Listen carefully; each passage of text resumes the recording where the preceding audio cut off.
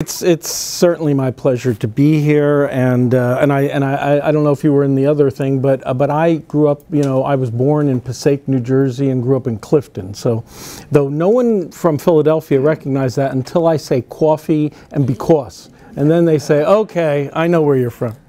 Anyway, um, I'm gonna a lot, I'm going to try to go move things along and primarily talk about the cool stuff. But, um, but multiple myeloma is characterized by significant immune uh, dysfunction, right? Abnormal cytokine profiles, defective T cell activation, increased expression of PD1 and TGF beta, downregulation of NKG2D, decreased immune surveillance, uh, you know, screwed up uh, uh, antigen presenting cells, aberrant support uh, uh, cells like myeloid derived suppressor cells. In fact, we have a cool study where we're using monoclonal antibodies to attack those things. So it's a screwed up immune system.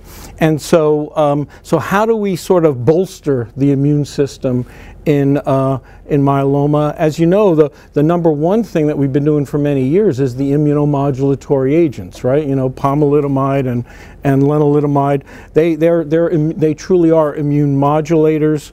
Um, and then, of course, the new uh, monoclonal antibodies that I'll talk very briefly about because I think you've heard about it three times already, the daratumumab and the elotuzumab. And then what I want to focus most on are the cellular uh, therapies that are being developed, uh, both the tumor infiltrating lymphocytes, uh, the CAR T cells, and the T, the T cell receptor engineered T cells. Um, so immunotherapy for myeloma. Currently available are the IMiDs, the monoclonal antibodies, the anti-CD38, anti-SLAM-F7CS1, elotuzumab and daratumumab, and then immune checkpoint inhibitors uh, pembrolizumab and, Nivo, uh, and nivolumab. And then the future science fiction soon to be available are the cellular immunotherapy. So the monoclonal antibodies, again, you've heard a hundred times about this. So elotuzumab anti uh, seems to uh, natural killer cells and myeloma cells have the SLAM-F7, the CS1 on their surface, and so we think that the way this monoclonal antibody works is by both um, putting a flag in a myeloma cell and activating the T cells to then attack a, uh, a, a, plasma cell. And you know the, the, the studies of Lendex versus Elo-Lendex showing the uh, benefit of uh, Elo-Lendex in terms of response rate, in terms of duration of response, with, with very little toxicity um, increase, 10% uh, infusion reactions with pre-medications, etc.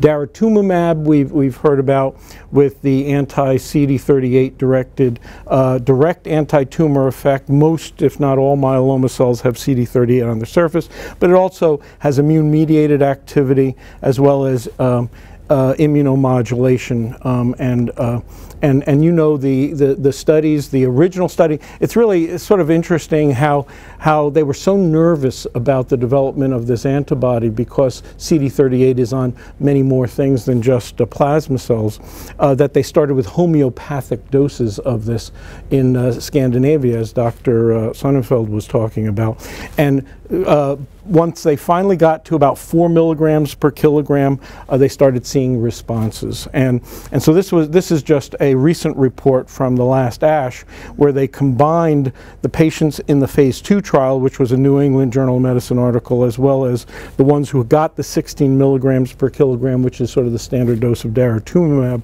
um, from the phase one trial and just demonstrated that, as we know, when you use it as a single agent, about a third of the patients respond.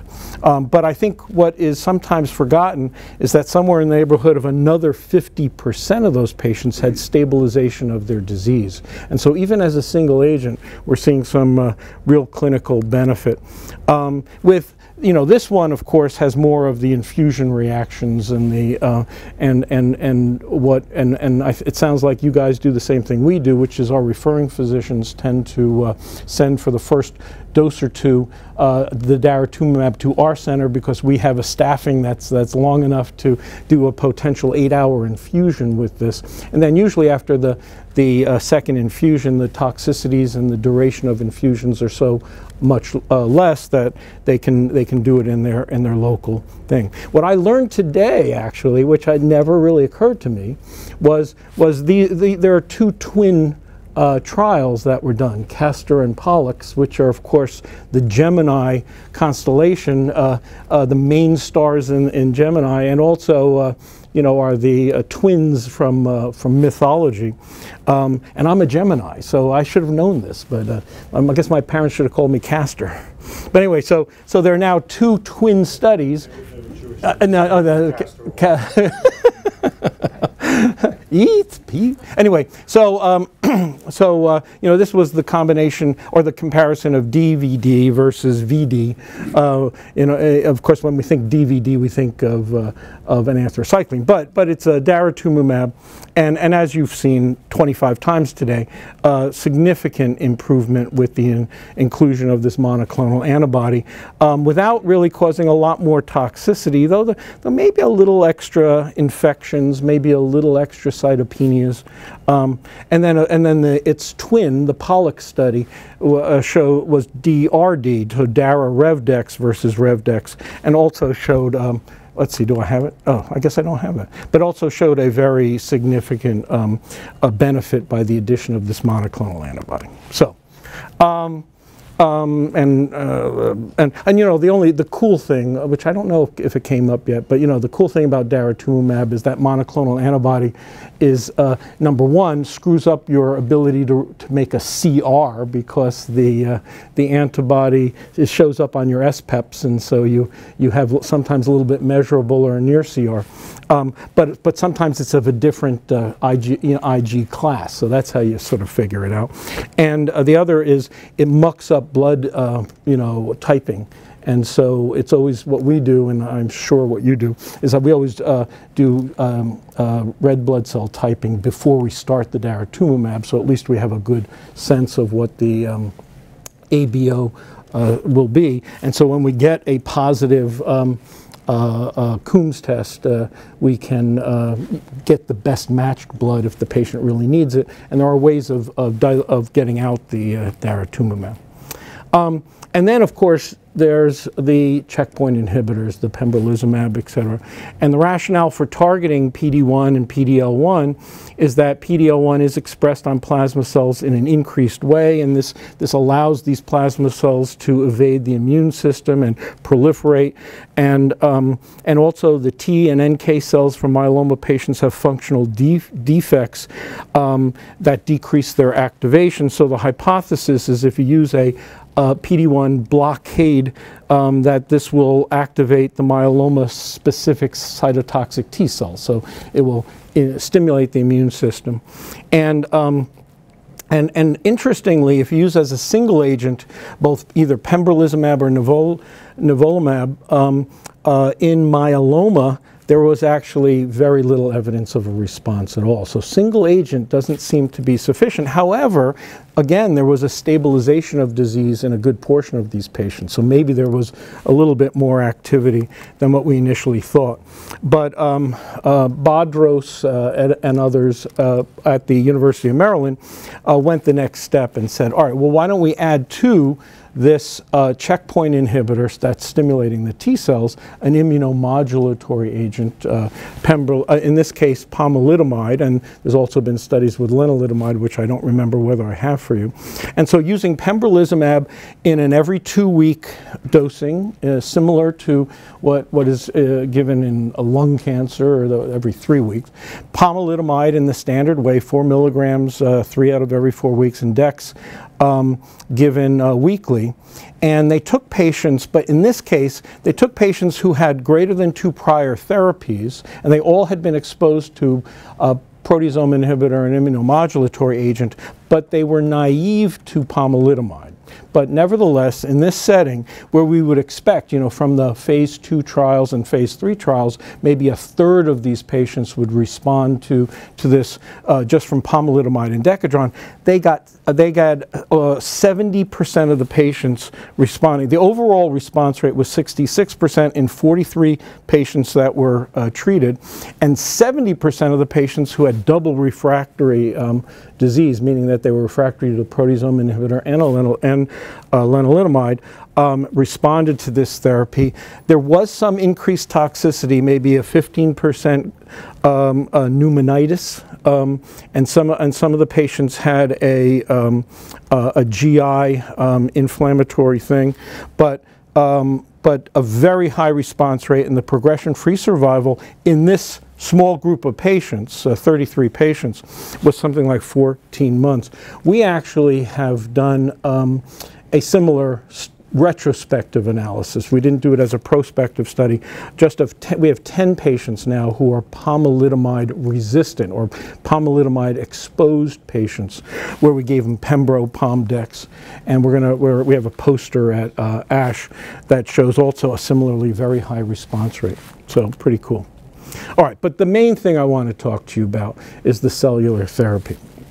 So remember, the rationale for cellular immunotherapy myeloma is we're not fixing people yet with myeloma despite all the stuff that we've been doing, that the T cells and the NK cells from myeloma patients have been shown to kill autologous myeloma cells. And, you know, and we've done allotransplants as your center um, has done. And, um, and it does look like there's a subset of patients, at least, who are long-term relapse-free survivors when we've infused the donor T cells. But of course, there's a high morbidity and mortality. And it's usually associated with a graft versus uh, host disease when you get this graft versus tumor effect. And so you're sometimes just substituting one chronic illness for another chronic illness. So what you know, so the philosophy of using autologous engineered T cells is perhaps if we could engineer our own immune cells to specifically attack myeloma, we could get the good graft versus myeloma effect without the bad graft versus host disease. And every, all of these T cell, adoptive T cell therapies um, uh, really have the same um, process where what you do is you take a person's own T cells. In the case of, of um, the uh, CAR T cells and the T cell receptor engineered cells, you take it from the blood, a simple uh, steady state um, uh, lympho uh, uh. Uh, in the case of the tumor infiltrating lymphocytes, which is um, what uh, the guys at Johns Hopkins have done, they actually go in and suck out bone marrow from the myeloma filled bone marrow and then squeeze out the T cells that are uh, infiltrating that area. And then these, uh, and, and in the case of the TILs, those cells are expanded ex vivo.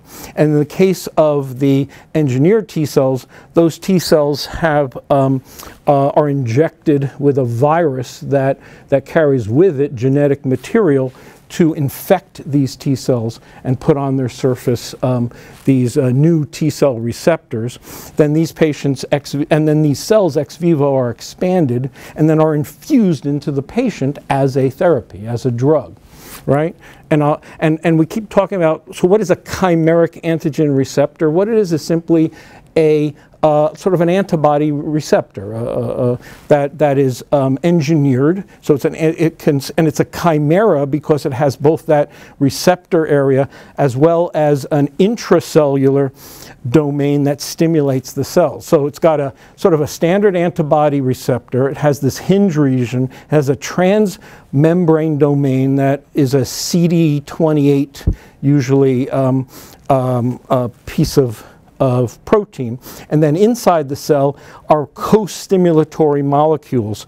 The magic is which ones are the best ones, and it looks like the 4-1BB as a co-stimulatory molecule, as well as a stimulatory molecule of CD 3 zeta chain of, of uh, is, tends to be the, the pieces that are inside the cell. And so basically when the cell when, when the receptor latches onto something, it, it, ener it energizes that cell to proliferate and become more active. So it's very cool technology. My son, who's a, uh, a biology major in college, a senior, when he took molecular biology, they actually used this. It was sort of cool. They used this in the first lecture of why you should learn molecular biology because there's actually, and he started, Dad, and then, yeah, now, now he thinks I might know something.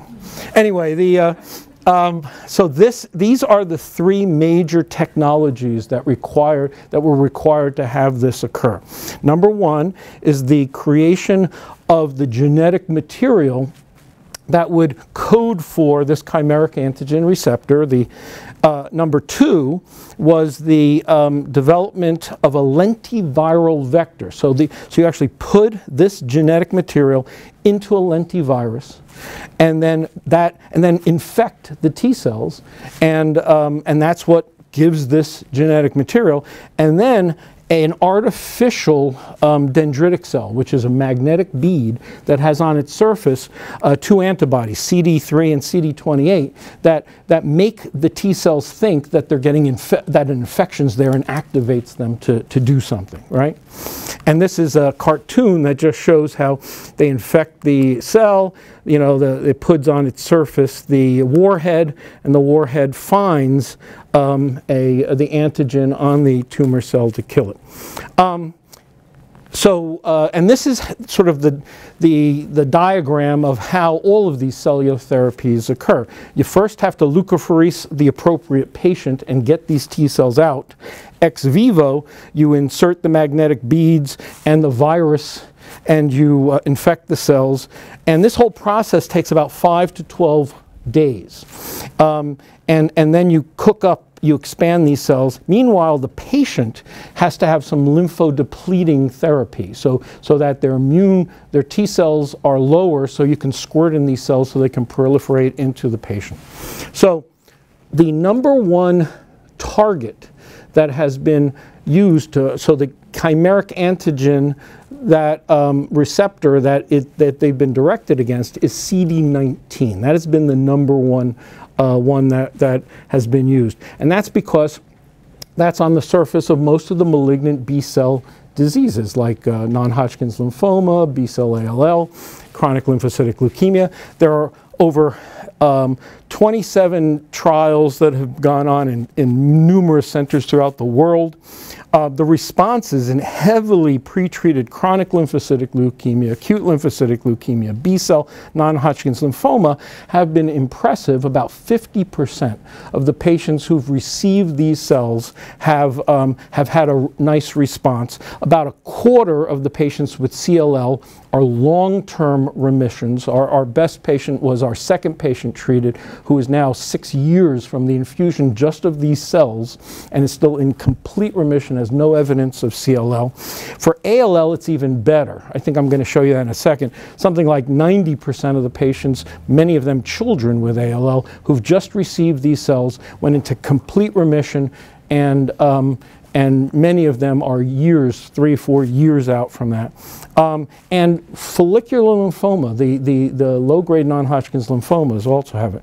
This is not something, though, without toxicity. And the number, the two toxicities are these people have lots of disease in their system, so tumor lysis syndrome, but we, we know how to deal with that. Number two, uh, this stuff is indiscriminate. If it's a CD19 positive cell, it will blow them up, and so normal um, lymphocytes are that, and so they get a B cell aplasia, and some of these patients need to get continued uh, intravenous gamma globulin, and then cytokine release syndrome, which is the new syndrome that's been developed, which is a sepsis-like syndrome. As these cells are proliferating and, and, and, and causing cytokines that is fevers, rigors, hypotension. And fortunately, though, we found the antidote. And the antidote is an, and it, or it's driven by interleukin 6. And the test that you follow is ferritin and C reactive protein. And those things go up as the people get uh, the, this in, in inflammation, and then they go down, usually within a couple of weeks. But if, if the syndrome's getting serious, then by squirting in tocilizumab, an anti-IL-6 receptor monoclonal antibody, it can turn off the syndrome within like four hours. So it really is the secret to the whole thing. This is ALL. Um, uh, published in the New England Journal of Medicine, and somewhere in the neighborhood of 60% of the patient, the kids with ALL who've received this thing are long-term doing well when they were dying of ALL. Um, so what about myeloma? There are many targets. So the first question is, what's the best target in myeloma, right? And um, and there many of these have, have occurred. The prob- the thing is, we had CD19, an anti-CD19 CAR ready for uh, for use, but CD19 is not particularly on the surface of myeloma cells. It's on on all of these other cells. But our hypothesis was that the um, that even though the plasma cells tend to be CD19 negative, they're lymphocytes. So there must be some precursor, some screwed up precursor that's CD19 positive that evolved, you know, that is, is the mother cell of these plasma cells. Uh, additionally, we thought that maybe a CD19 small subset of the patient, of the cells were the, malign- the resistant clone, and that if you could somehow target those things, you might result with a, a better result. But we wanted to design a study that in a few patients might show us some proof of principle. So the study we designed was to take people who had already had, a, had, had initial therapy and autologous stem cell transplant, and they were of poor prognosis because the duration of their response was less than a year after their autologous transplant. Then they can get all these different other therapies, and then as a and then when they finally nothing else is working, they need a salvage auto transplant to try to get them better. We would then do a second stem cell transplant and our expectation would be that the duration of that remission would be shorter than the first one. Um, and then we'd squirt in these cells to see if we could have a remission inversion and try to have a longer duration of remission. So here's the famous patient that we published in the New England Journal and was on the cover of Parade magazine. I'm so sorry. It, it, everyone, everyone, it's not, it was too hyped. It, it's not cure, but anyway. So, so and what um, Dave David showed um, earlier today is the patient had had a initial therapy, a stem cell transplant, did not go into uh, complete remission, progressed within three months. Actually, within six months had IMWG criteria, but actually started progressing in three months. Got 10 lines of therapy after that. Was treated at the Dana-Farber, so got lenalidomide, pomalidomide, bortezomib, carfilzomib, uh, vorinostat, elotuzumab when it was still an experimental medicine, etc. Um, and, uh, and then we did a stem cell transplant and infused cells. And if I had known that I'd be showing this slide, I would have liposuctioned myself a little bit more. this, is her, this is the patient. This is her husband, who looks a lot like Peter Sonneveld, I think. Yeah. So I think that's it. And then the whole team, uh, this is uh, Al Garfall, who's really all the, the, brains behind the whole thing. Anyway, um, so what we did was we um, tried to keep her alive by giving her a little bit of Cytoxan infusions, then did a second stem cell transplant. Because she was sort of sickly, we actually gave her a lower dose of melphalan than we gave, gave uh, the first time, 140 milligrams per meter squared. Um, and then two weeks later infused the CART19. We wanted her to recover from the acute toxicities of the auto transplant before we squirted in the cells. And boom, she went into the deepest remission she's ever had. And, and, this, is, and this is what we showed in the New England Journal. That, and, and as I said at the meeting, it was about for at least 15 months. So, so where she had a three month um, prior remission, 15 months later, complete remission. And this was you know, we did every sort of molecular testing we could do. It is now MRD negative, no evidence of disease. And oh, and most interesting, she was CD19 negative plasma cells. So, she, and, and, it's not 100%, it was 99.05, uh, 99.5% negative. She had a 0.5% positive set of CD19 positive cells. Nevertheless, the whole thing went down. She actually recovered her B cells, which is, I think, not a good thing. Um, uh, and uh, didn't really experience anything more than a and this is six months later against medical advice she was uh, uh skiing in Vail but um, so so what happened was about 15 months later we, um, I'm trying to think, we did a routine scan and saw a, um, a an extramedullary plasmacytoma. Evaluated her otherwise, nothing else, gave her, and, and sort of, and it was CD19 uh, um, positive interesting. But we didn't have the ability to squirt it anymore. So we decided, let's give her some daratumumab and melted away. And so she is now over two years from that treatment with that progression, but no evidence of, she, was in another complete remission. Um, we treated 10 patients with this. It's not 100%. Three of the 10 patients have had remission inversions. Seven did not. Um, um, but that is much. We we looked back. I don't know. Have you looked back? We looked back at our at our prior transplants, salvage transplants. We really have never had a remission inversion with a standard salvage transplant. So we see this as a positive thing. And and incidentally, what we're doing right now is a follow-on study doing doing the anti CD19 uh, infusion after the first auto transplant in high risk patients. So if you have any patients, we they have to have cytogenetically high risk disease. And we're just doing initial therapy, which you can do, uh, stem cell transplant in the standard way, and then squirting in the anti CD. So we'll see. The only, and, but as I've suggested, this is not the, um, the major setting. This is not the logical target for uh, CML, I mean for, for multiple myeloma, the logical target is BCMA. So BCMA, the B cell maturation antigen, is virtually 100% expressed on plasma cells, though the, the, the, assess, the assays for it are really screwed up. What we, so what we're doing, uh, so, we're, we, so we have a, we have a BCMA trial at Penn. We're not part of the Bluebird and stuff like that. At our study, though, we are not doing it. We're doing assays, but we're not using that to determine eligibility. So, so we're we're not we're if there are relapsed refractory patients, we're assuming that everyone's going to be BCMA positive. And in fact, that has been the case. When we use our assays, they're all positive. We've sent 11 specimens yeah.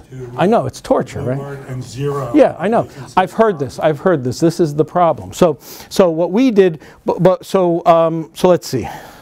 So, so our study is to take a person who has relapsed refractory disease, and this is Adam Cohen who's in charge of, of this study at Penn, and then they, you know, they get a T cell leukapheresis. In our first cohort of patients, after they cooked up the cells, they, we just gave them the cells. No lymphodepleting chemotherapy, whatever. Um, and then, um, but in our next cohort, we, we're giving Cytoxan. And so here's the first patient who got the anti-BCMA. 66-year-old guy, 11 prior lines of therapy, um, and was full of disease. He was BCMA positive by flow cytometry. And we squirted in the cells, no lymphodepleting therapy. He, did, he developed grade 3 cytokine release syndrome in a similar fashion as, um, as uh, the ALL patients getting the disease, and, um, and had a tremendous improve and, and actually had persistence of his cells, and then had a tremendous drop to complete remission of, of his uh, monoclonal protein. He's in a strict complete remission, no evidence of disease, and, and that has lasted for about nine months now. Incidentally, update of our CART19 experience as well as our BCMA experience is going to be oral presentations at the uh, ASH meeting. Um, the, the guys at the NIH have done this also. They reported 12 patients using the BCMA, and that's what ba is based on the Bluebird stuff. And you know that, that a subset of those patients did respond. There was some CRS. I think CRS does predict for who's going to respond, though not everyone with CRS responds. So it's a really cool thing.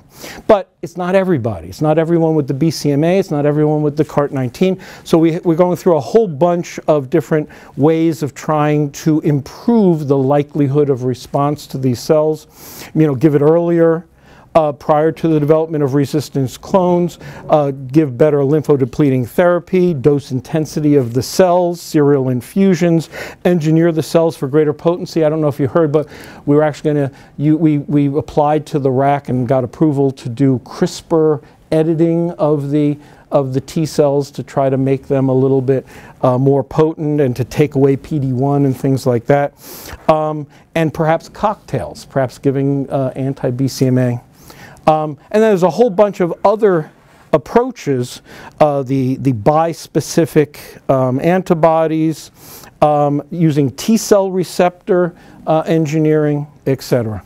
So successful immunotherapy started uh, with lenalidomide and pomalidomide. The monoclonal antibodies um, uh, uh, have really uh, become a part of myeloma therapy, and as you heard, may become the initial therapy. Checkpoint inhibitors, when combined with this, seems to activate things. There's multiple promising targets for the cellular therapy, um, and we've proven that functional CAR T cells can be removed and engineered for uh, myeloma.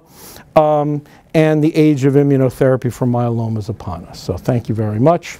If, it takes a, a village, of course, and there's the whole crew. This is the, the guy who's going to win the Nobel Prize is Carl June. And um, David Porter's the guy who did the original studies with CLL. And of course, these are all the other doctors, the nurses, the research people, and the people who really do all the work. So thanks a lot. And questions? Any questions? Any questions? Science fiction, come to life. How fast can you turn around that, getting it back to the patient? So, so literally two weeks.